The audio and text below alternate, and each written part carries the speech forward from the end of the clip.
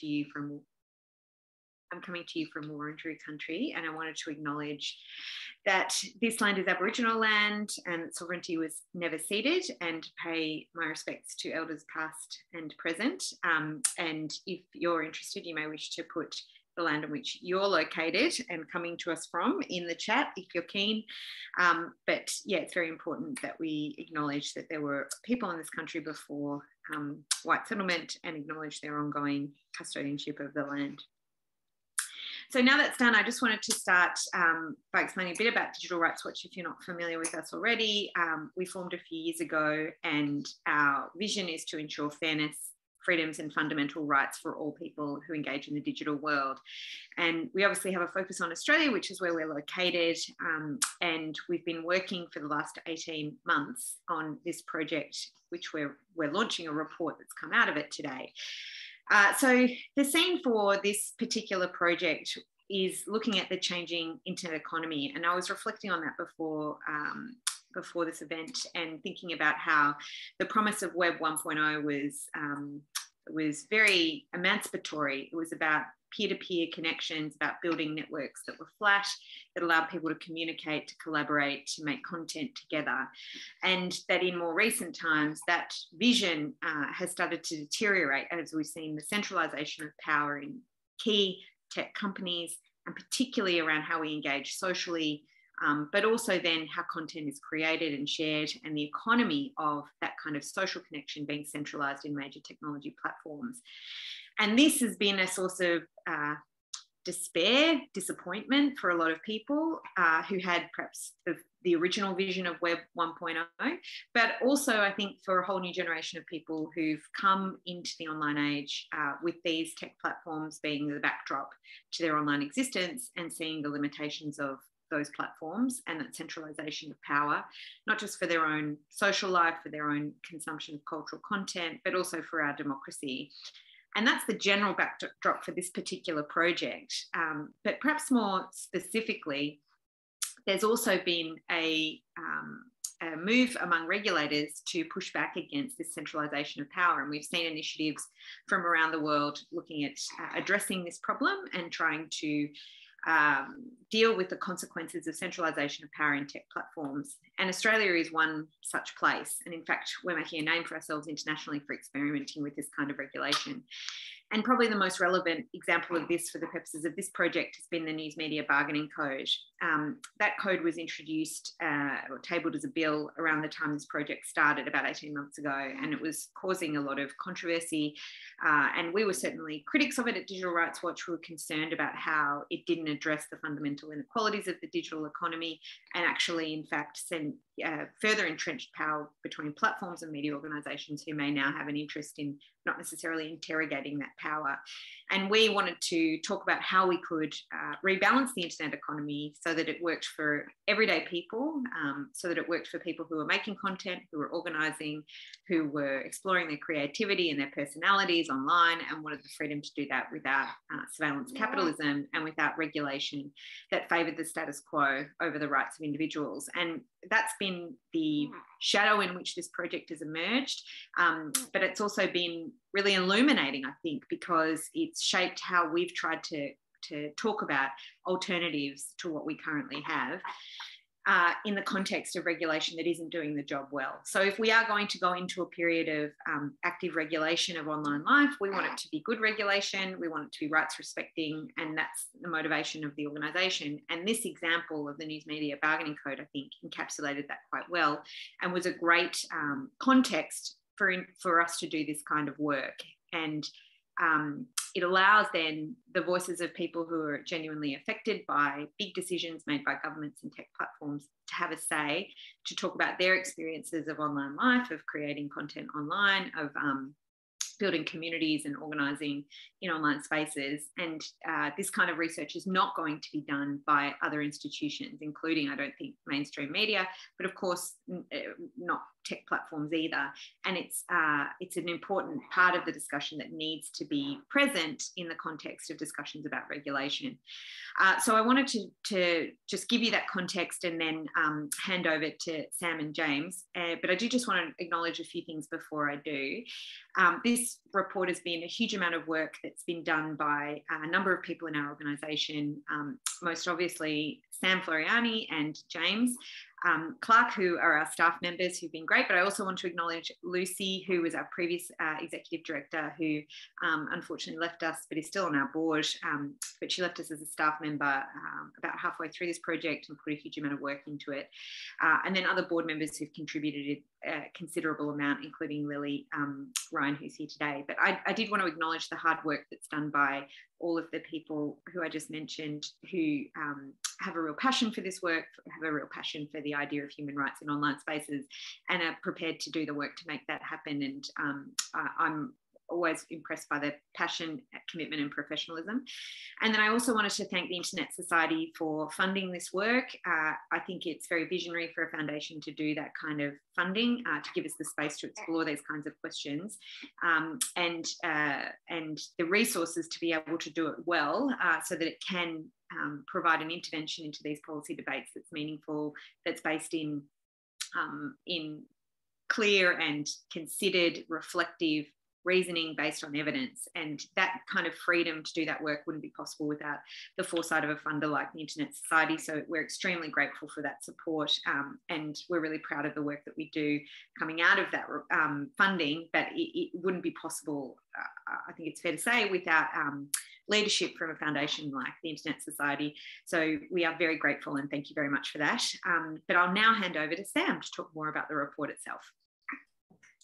Brilliant. Thanks for that introduction, uh, Lizzie. I feel like you really set the scene well there. So, to hmm, I'm trying to, here we go. Nope. There we go. Okay, so to kick things off, I really want I wanted to start with this quote from um, Rebecca Giblin, who is a professor, because I feel like it really sort of gets to the heart of a lot of the issues that we um, were focusing on in this project.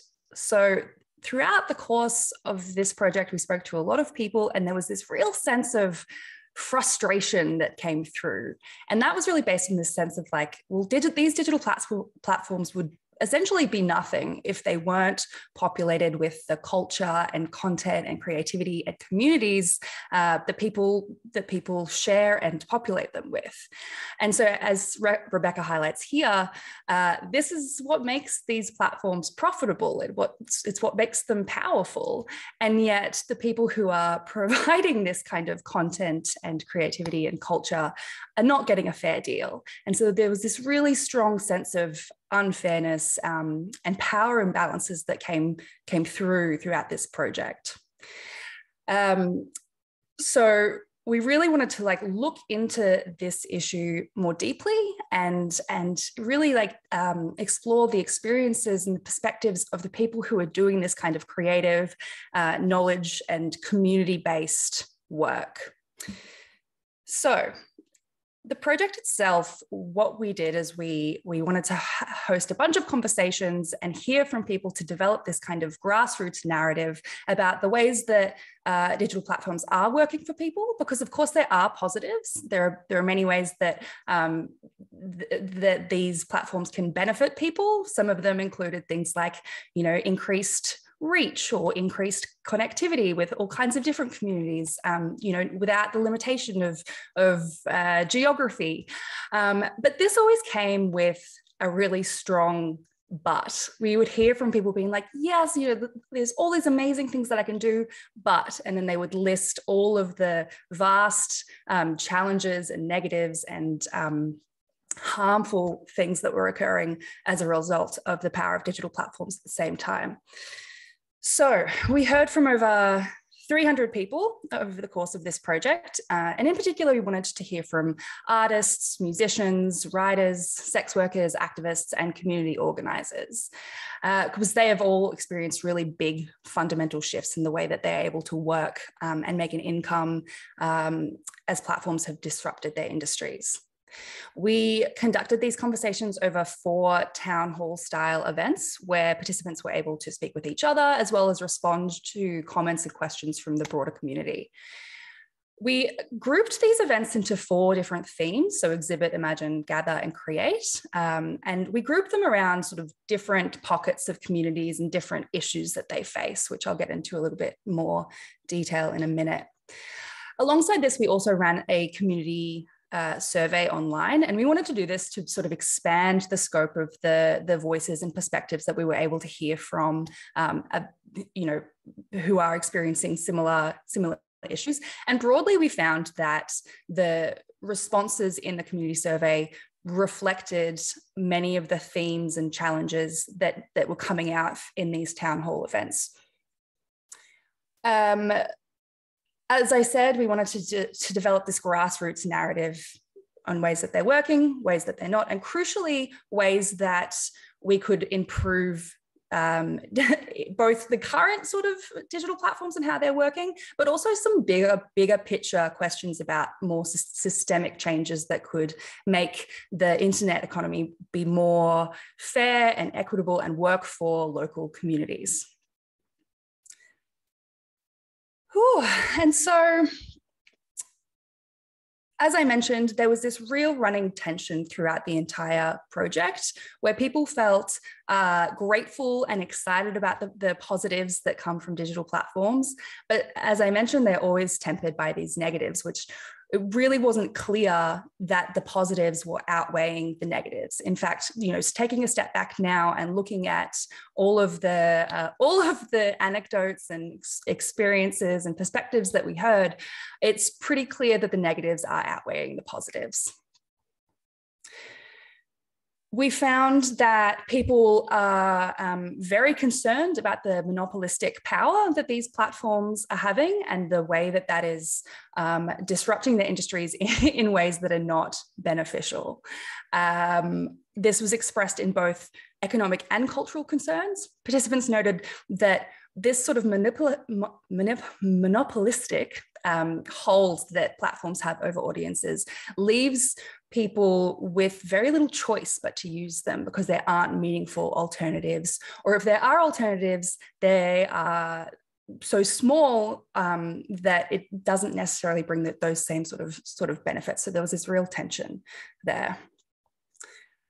And finally, we found that you know, these large digital platforms are further entrenching a lot of uh, sort of pre-established power imbalances that that already existed before uh, before the rise of the internet and the rise of these digital platforms. You know, as Lizzie sort of uh, touched on, the, the rise of um, Web 1.0 came with all of these promises of um, disintermediation between um, creators and users, being able to do peer-to-peer -peer connecting, being able to sidestep a lot of the sort of traditional institutional gatekeepers, be it major um, record labels or publishers or other, other gatekeepers. But what we are finding is that the digital platforms actually uh, reflecting, if not sometimes exacerbating these kinds of power imbalances. So on that note, let me tell you a little bit about each, uh, each topic that we explored. So exhibit was our first event. And for this one, we really wanted to explore the ways that people showcase their work online and the impacts of content moderation and censorship and platform governance.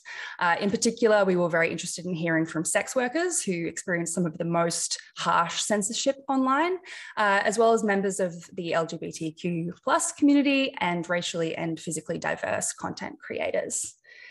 Um, the findings of this were generally um, pretty pretty grim, to be honest. Um, basically, the running theme was that because many digital platforms, or most digital platforms, are trying to uh, overlay a global standard for content moderation, it, it's having a homogenizing effect on um, perceptions of morality and leading to all kinds of harms of people who have their content taken down, um, even when it is lawful, even when it is, you know, the the the the whether or not it's harmful is highly contested.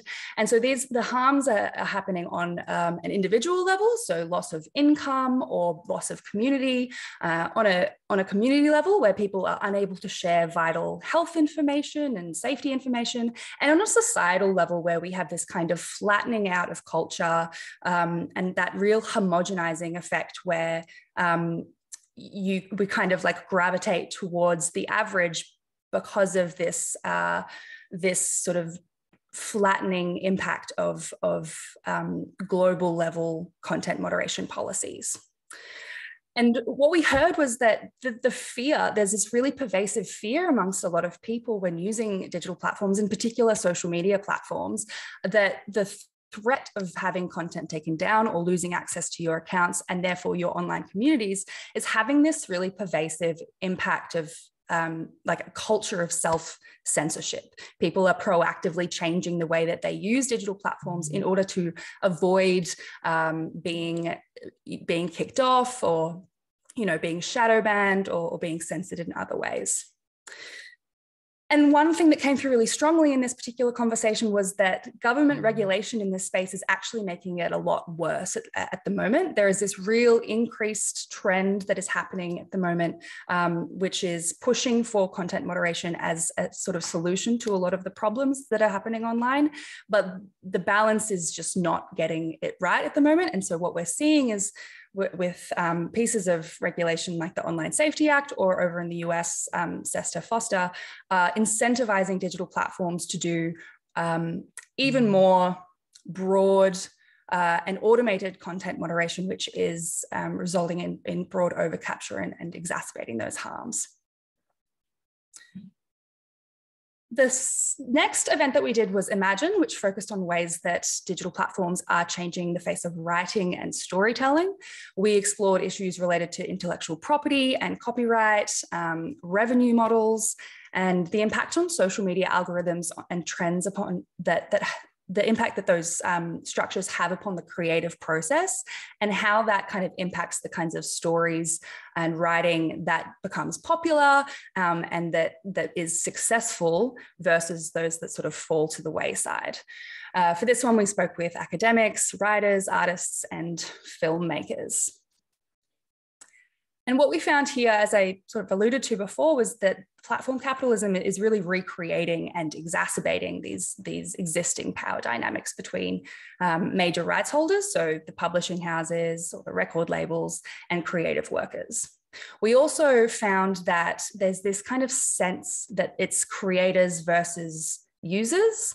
Um, there's, at least that's a pervasive narrative that kind of gets um, thrown about. And the problem with that is that, well, A, it's a false dichotomy, but B, it also distracts from the the digital platforms or the major rights holders that are really still reaping all of the benefits while both users and creators are getting an unfair deal.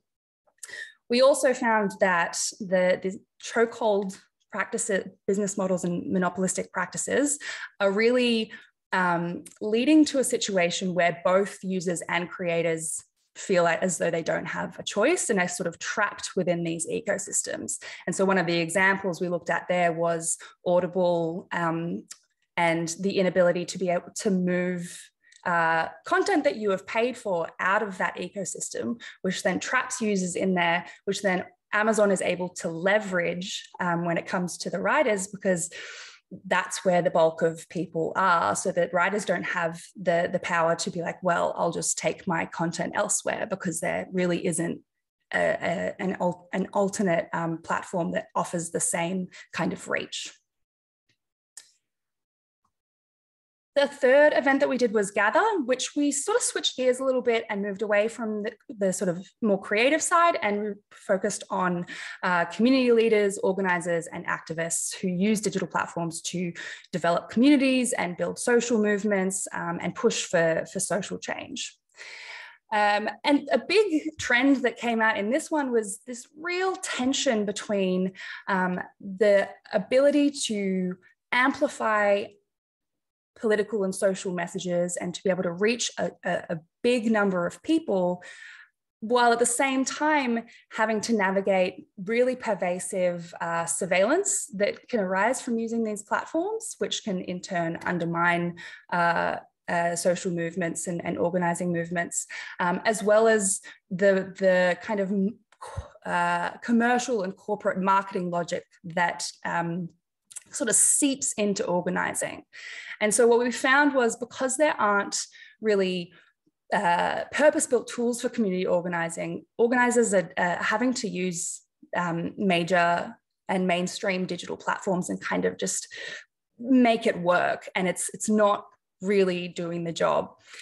Um, and one of the issues that, that arises with that is that because uh, digital platforms really prioritize a sort of transactional relationship, this can undermine a lot of community building because strong um, social movements are based on strong relationships, um, trust, and solidarity. And that's very hard to, um, to do online if you are focusing on things like the marketing logic that is embedded into the structure of these platforms. For example, one of the things that we heard was um, on social media platforms, there's this real emphasis on vanity metrics. So the number of likes and shares and followers and things like that, which can um, actually end up undermining social movements because you get distracted by these numbers that don't necessarily translate to any kind of meaningful action or support um, or impact. And then finally, the last event that we did, which was amazingly, we were able to do it in person. We had planned on doing all four of these events in person, um, but alas, the uh, coronavirus coronavirus pandemic prevented us from doing that. But we were able to do our final event in person in partnership with Music Victoria, which was really exciting. Um, so this event focused specifically on musicians and the music industry, and we were thrilled to be able to have a uh, performance by local singer-songwriter Eilish Gilligan as well, because we figured if we're going to be talking about um, the arts, why not showcase the arts at the same time? And it was a really uh, lovely evening. Um, so in this event, we, we discussed the impacts of uh, streaming platforms and of uh, ex exploitative revenue models. Uh, we talked about digital royalties and how many platforms are either not paying them fairly or in some cases just not paying them at all. Um, and as well as the sort of pressure that artists and musicians feel to be uh, very online, to sort of um, you know pour their their personal lives and their personalities into social media in order to to go viral and build a following and how that's impacting um, the music industry as well. And this one really sort of emphasized how this this there was this real promise of disintermediation you know this promise that musicians would be able to do to connect directly with fans to be able to you know be able to produce and, and, and showcase their music without having to go through, um, you know, major media, major um, music labels. But what we what we've heard from musicians is that rather than uh, removing this intermediary, the traditional gatekeeper of the music labels, digital platforms now act as an additional intermediary. So now artists are having to navigate more hurdles rather than less. And on top of that, the opaque algorithms and um, sort of governance of digital platforms makes that even even harder for them to sort of navigate that space because it's very it's not always clear how to how to how to um, you know use the algorithm to your advantage because they're constantly changing um, so yeah so that i think is a just a general overview of what has been a very um, broad and widespread project. Um, we have plenty of recommendations that came out of these conversations as well. And I would encourage you to go and read the actual report, which is on uh, our website now, and we'll put the link in the chat because we did pull out recommendations and um, group them for um, digital platforms themselves, uh, government and regulatory bodies, as well as civil society, because there are there are uh, things that all three groups could be doing to improve improve this. As I mentioned before, some of the recommendations are kind of um, on a smaller scale, you know, ways that we could improve the current uh, status quo while operating in this um, sort of surveillance capitalism, platform capitalism um, structure. So things like um, better consultation with affected communities and improved transparency and accountability mechanisms and pathways for redress for people who um, are harmed by um, when things go wrong and more equitable revenue sharing models and things like that. But then we've also got some recommendations in there which come back to these sort of bigger systemic changes that we really need to be seeing. So, you know, challenging platform capitalism, um, you know, pushing back on chokehold business models and um, un- uncompetitive uh, monopolistic practices.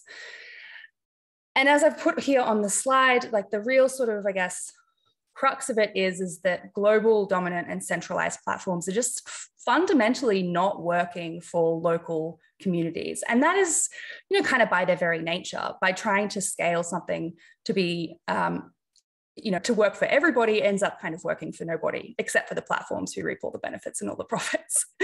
And so what we re- the all our recommendations are really grounded in this this running theme that came through was which was the need for um, alternate platforms things that are community led community built um, and community governed and so what we really need to be seeing for this in order to happen is for governments to be playing a role in this uh, and in mitigating these, these power imbalances. But as coming back to what Lizzie said at the beginning, this needs to be informed by genuine consultation with affected communities because currently they're not getting the balance right.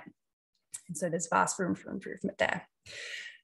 So that was a lot. I hope that you will go away and read the actual report um, and the recommendations that come um, out of that, because uh, we really did hear some amazing perspectives from people who are facing this every day. And now I'm going to hand over to James, who is going to wrap us up um, and talk about what happens next. Great. Thanks very much, Sam. And um, yeah, I really uh, appreciate just the amount of work that, that Sam has put into um, into this report and to all of this research. Um, as uh, Lizzie called out at the beginning, um, it's been an enormous effort. So thank you, Sam. Um, I'm James. I'm the executive director of Digital Rights Watch. Um, yeah, I'm just going to quickly talk about kind of where we go to from here. As we've heard from just from Sam there, um, this was an enormous project to talk to as many people as we did and to really get a, a picture of how the internet economy is working for local communities and, and particularly local creative uh, and community groups. Um, and I guess like the short version, as you can probably tell, is that the internet economy just isn't really working for for local creative workers. Um, and for our local community builders, um, these global tech platforms um, aren't really serving the needs uh, that our communities have and are, are doing some real harms. Um, so this project has given us a, a, real basis of, of knowledge of that, of really understanding the dynamics of like how uh, communities are being impacted by this kind of these shifts in the digital economy.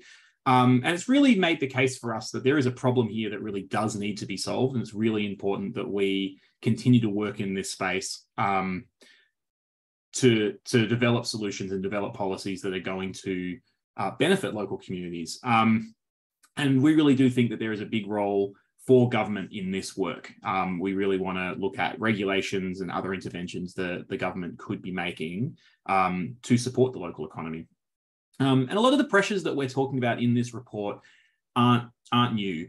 Um, in the age of broadcast media, we we know that there were similar problems with local content, um, as well as uh, making sure that like local content creators were served, and that local culture and that these policy um, priorities of of having a kind of local cultural identity and having um, content that serves the needs of our communities. Uh, these were things that the government intervened with. Um, in the age of broadcast media, we know that that was local content quotas so that um, radio stations had to play a certain amount of Australian music, TV stations had to play and create a certain amount of unique local content.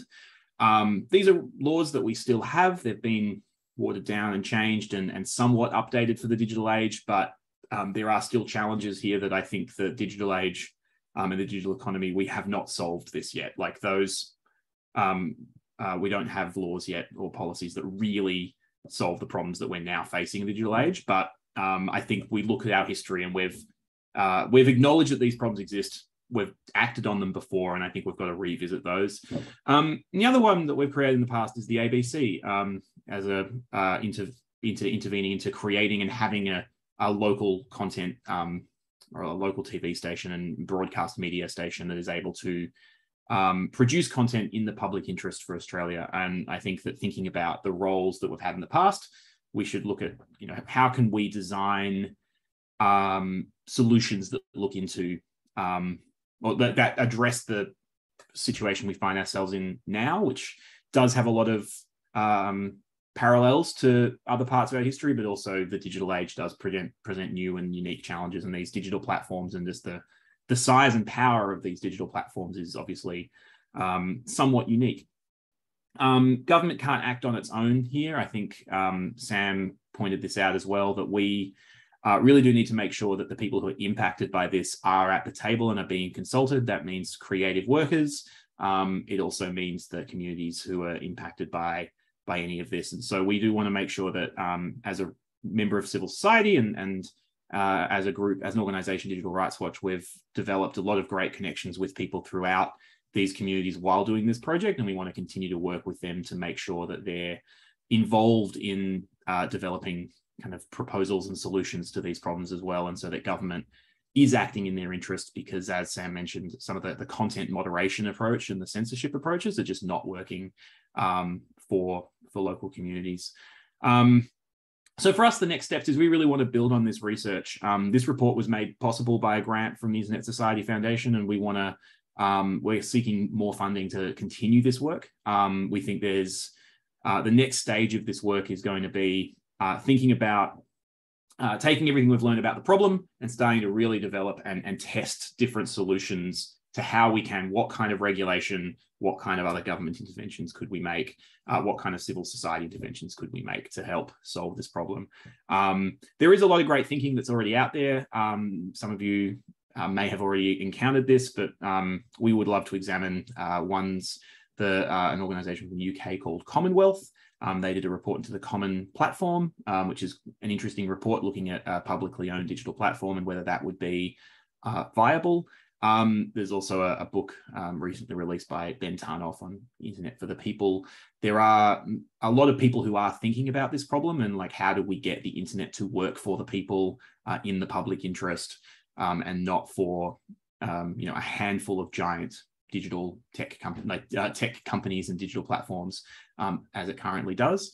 Um, and we think there's room for some create you know in, creative and um, original thinking too. Um, we think Australia is a really interesting case here. Um, we want to have solutions that work for Australia. Um, and, you know, we think that Australia has a, an opportunity to really innovate um, in protecting our local industries here. Um, we have a, a, history of doing that. And I think that, as Lizzie mentioned at the start, the uh, news media bargaining code was deeply flawed and we had a lot of critiques of it, but it was also exciting to see the government have a go at trying to regulate this space. um, and despite our critiques of it, um, I think that um, it is it is heartening to see uh, the government having a willingness to take on these platforms on behalf of local communities and local industry. Um, so that's the next step for us is that we're going to continue. We're really excited to continue this work um, and digging into how we may be able to um, address some of the problems that we unearthed through this research and what kind of role the government could could play. Uh, so with that, I think I'm um, just going to wrap it up. Um, maybe I'll pass back to Sam to send us send us on our way. Um, but we have got a um, the I posted in the chat there the link to the report. We'd love for you to have a read. Um, we are going to be doing a, a public launch of this report soon. So this is just our little preview for people who were involved and for supporters. Um, but um, yeah, uh, we would love to get your thoughts on the report as well. And um, yeah, looking forward to the, the conversation that this this kicks off. Thank you. Uh, Sam, do you want to? Is there any other housekeeping, if, or are we done? If if anyone here does have any particular like questions or thoughts that they wanted to share now, more than happy. We've got a little bit of time. Otherwise, we can wrap up early, and you can you know go and get a cup of tea before the next thing or something. But if anyone has any questions, feel free to speak up now. Otherwise, we'll wrap up wrap it up. And thank you so much for being here. So it looks like um, there is that one Ooh. question there. Oh yeah, um, I always can you folks see it? Q and A. Yes. okay. I, I can see an update that says James Clark is going to answer this question live. Oh, I, I, I just pushed the button. Uh, I'm not used to this. it's committed you to a course of action, man. um, so the question um, for people who can't see the chat there: Do you think it's true that we cannot have nice internet um, prosperity for arts and culture living under corporate capitalism structures and gatekeeping? Um, Sam, do you want to have a thought about that one? I feel like you've Uh, thought about that one. I mean, so something that came up a bit in this, we had a, fr- a few speakers actually who would um, essentially like tell us about the horrors of of trying to um, you know create work and promote it and sell it and and, and whatnot. But then but then be like, oh, but you know, we just you got to do what you got to do in capitalism um, and it was which which i think was is like a really shared kind of experience and and dilemma right? Because a lot of these issues do come back to the like underlying um, business models of these platforms which are inherently um, capitalistic. So yeah i think that's a it's a real challenge. I don't know whether it's necessarily as um, uh, like black and white is like yes we can or no we can't. I think that there are way, there are certainly some of the things that we learned from this is that there are ways to improve the current uh, dynamic under our current system of, of platform of, of capitalism. I do think though yes of course like a lot of the sort of bigger systemic um, changes that we need to see would come with challenging um, capitalist structures and and um, some of the things that came through especially in discussions about creativity and art were that um, one of the things that people are really concerned about is the way that these platforms actually kind of uh, leading to a culture of like commodifying creativity and devaluing um, artistic expression and artistic work. And so and that kind of goes hand in hand with capitalism really because it's not productive. Um, so yes not a satisfying answer but I, I think that there are some really big big problems there. Did you have anything to add james? Um, no, I think that's a good answer. I, I was also thinking something that came up during the um, I've forgotten the name of the music one. Was it Create? yeah Yeah, during um Create, uh, our in-person live one, uh, we had a lot of discussion around um the com- just the commodification of art. And music's a really interesting place where you don't really buy music you buy a commodity you buy a, a cd you buy a mp3 you buy access to a streaming service um, and i think thinking a bit about the way that uh, the role that art and music plays in our lives under capitalism is it's treated as a little product as a commodity that needs to constantly be you know you need to constantly be producing new products in order to to continue to live as an artist and i think that that does diminish the role that art and culture plays in our lives and and how important it is for our communities. Um, and so I do think it's worth thinking about. Um, obviously, we a lot of fantastic art has been created under capitalism. That's obviously true. There's a lot of brilliant art that gets created all the time. Um, but also thinking about the role of art in our lives and in our communities and how it can bring people together, how it lets us share experiences, how it lets us um, build a sense of collective belonging with each other. Those are, are also really important roles that music and art play in our lives um, that do push up against capitalism in a way that like often that that kind of role is extracted from it so that you can create products i guess. So i think that um, i think that art would be better without capitalism but i think we would all experience it better. But um, obviously um, yeah that's going to be a, a real a real challenge. Um, which I think actually probably leads us on to the, the next question from Paul. Um, um, how much of an impact do you think Digital Rights Watch can have? After all, you're up against some very large and powerful organization um, organizations. Facebook giving the finger to the Australian government um, back around the pay for news controversy comes to mind. Um, yes, great question.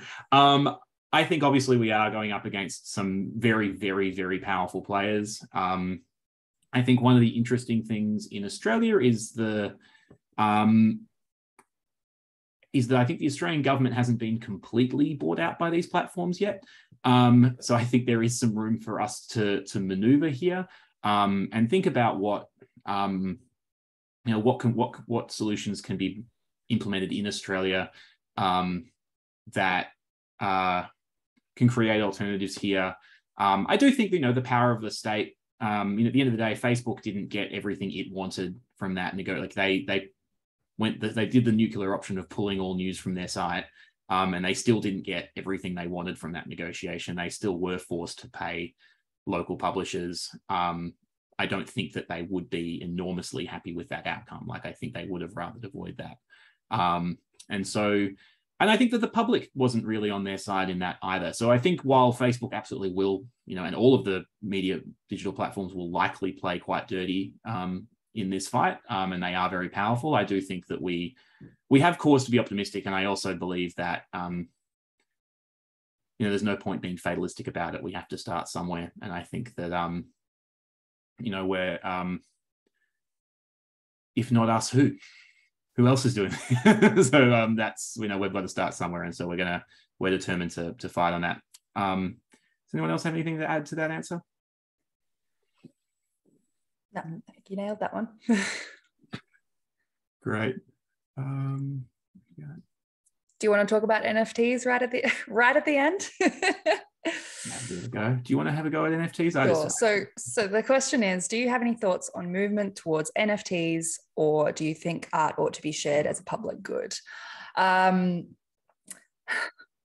NFTs only came up a little bit, surprisingly, just not that much throughout this throughout this project. I kind of anticipated that it might they might be proposed as an alternative way for you know artists to be um, you know uh, controlling ownership of their work or, or getting payment and things like that. But they really didn't come up that much. And I think that a big reason for that is that a lot of artists and creatives don't want it. Um, and because it's you know a lot of people are very well aware of a lot of the challenges um, and ethical issues that that arise from NFTs. Another thing that I think is really um, at least to me is is important in this kind of discussion is really coming back to this obsession around ownership like a, a lot of the people we spoke to are actually like yes they want to have um, credit and have you know be be yeah, credited for their work but there really wasn't this sense of a need to be like really fixated on this is this is my unique image or, or whatever like it, that that felt kind of um it was pretty far removed from what um, what artists seemed to, to to genuinely want. And I think that yeah, there's some sort of obsession with ownership is not necessarily helpful when it comes to um, the the benefits associated with art and um, creativity. So, did you have anything to add to that, James? Uh, no, I think that was. Uh, I think the just kind of what I was talking about before around the um, decommodify decommodification, people that we spoke to in this uh, were yeah definitely weren't looking for like we want more ways to own our work or we don't want you know new commodities. We want to decommodify our art and be able to live in a way um, by you know producing art that works kind of for themselves and for the communities that they're producing art for. Um, and so yeah, it really didn't come up. And if like and when it did most when it did often come up in passing, it was often dismissed as just not you know, a, a, further push towards commodification of art was the opposite of what a lot of the people we were talking to in this project really wanted. Um, um, I said that Lizzie's gone off video, but I actually thought Lizzie would be a fantastic person to answer this last question about the ACCC. Are you still around, Lizzie, or are you have you had to run away? No, I'm definitely here. I'll just put my video back on. I was doing a um nappy change. Um, so what I what I was going to say, um, I saw that question about the ACCC as well, and I thought it was really interesting. I mean, I think one of the things, uh, you know, I'm a lawyer by training, and I'm I'm always interested in the ACCC because um, in some ways they're empowered to do interesting work because they come at things from a perspective that accords with the capitalist framework. You know, they're they're trying to work out how to make markets function better and so um, you know I, am pretty uh, uh, I've also noticed that in some of the commentary, particularly around the news media bargaining code, that um, you know Rod Sims is perceived internationally, who is the former head of the ACCC, as being uh, a pretty forthright regulator, prepared to take on big tech platforms, and has gained a reputation for doing so. I mean, he's he's left now, so that may change, but I'd be surprised if it if it does. I think that um, the ACCC has kind of got a taste for these kinds of things, and they are in a position where they're trying to make markets function better, and there's, there's clearly some market failure to be addressed addressed, that means that they can be um, reasonably bold. The question is, will it always serve the communities that we're discussing here today that we've tried to give a voice to in this report? And I think that is still a bit open. I mean, they are about regulating markets, not necessarily making um, uh, or not necessarily interrogating where there's a conflict between, say, democratic ideals and market functionality or um, or even you know uh, how you support um, industries like the arts that aren't necessarily that don't necessarily work well in a market economy anyway. Um, and so I think there's a real role to play in, in providing some of this complementary research to the very extensive work that the ACCC has been doing on, on digital platforms and their outsized power. Um, and I just hope that part of what we do is with this regulatory impulse that it's not just confined to ideals of market functionality and that in fact we start to bring in um, more um, expansive concepts like democracy like the capacity to organize human rights but also creativity and supporting creative communities. Um, you know the the act the privacy act for example is currently undergoing a review which was one of the recommendations of the ACCC report. And um, that's something obviously digital rights watch is quite keen to participate in. And I think that's got implications for this as well, because you know part of the reason why these the internet economy isn't working for lots of these people that we've been talking about is that it's data driven and that it's about creating engagement, and uh, that's how money is made in the current internet economy. And so privacy, I think, and how it gets reformed will be a big part of that. And I guess that's another that's an example where the um, there is a regulatory impulse from the current government. We know that the, the key um, catalyst for this kind of potential changes come from the ACCC. But I would hope that through the work of civil society organisations like Digital Rights Watch and others, that uh, more expansive ideas of reform and what potential exists for the internet to work well for more different types of communities and people, will that opportunity will be taken rather than it, it being um, a, a, slightly more narrow-minded vision of, of, market functionality, which I think is mm-hmm. just um, doesn't cut it for the problems that we're talking about today. Um, so I think that there's scope, but um, the ACCC is doing a job that it's been assigned to do, which is not necessarily the same job we're trying to do with this report, and that's a good thing, and that's why we need more of this kind of research and collaboration and engagement of civil society and communities um, and giving them a voice in this process so that we can make the most of, of this next period of the internet's history uh, and turn these um, concerns people have into real change, um, turn that into a, a, a form of reform that really works for everyone and not just small sections of society. Cool. Um, thanks, Lizzie. Um, I uh, we're, we're now over time, so I think we should probably wrap up and respect everyone. Um, Great questions, by the way. I think yeah. as well. So I'm really grateful you took them. Yeah, thank you very much. And, I um, did have to answer one in the um, in the chat, but um, yeah, if um, thank you all for for coming in for asking these fantastic questions. And I'm excited to see this is going to get cited in someone's PhD. That's awesome. Yeah thanks very much. Um, I believe uh, that's probably there's no more housekeeping that we need to talk about here, Sam. So I think we can probably wrap this up. Um, the link to the report is in the chat um, as well. We really do encourage you to go have a have a read of that. Um, and thank you very much for for coming along and, and hearing about the the project that we've been working on. It's been great to see you all. So thanks very much.